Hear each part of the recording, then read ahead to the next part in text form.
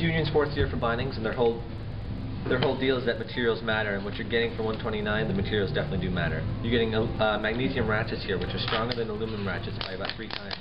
Um, all three click, super heavy duty, super durable. You're getting an extruded aluminum heel cup here, which means that this heel cup was cast in the shape rather than cast, hammered out, and then remolded. Um, so basically what you're getting is you're getting extra durability and extra reliability.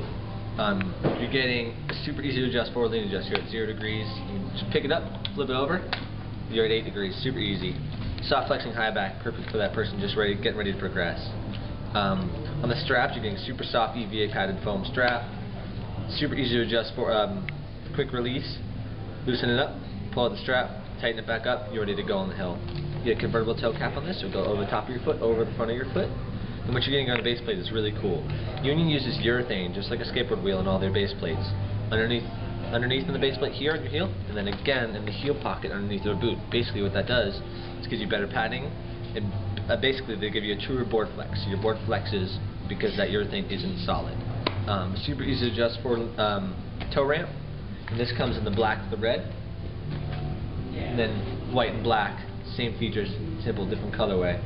The Cadet also comes in a women's colorway. And basically what you're getting from the Cadet is you're getting the same materials, but softer.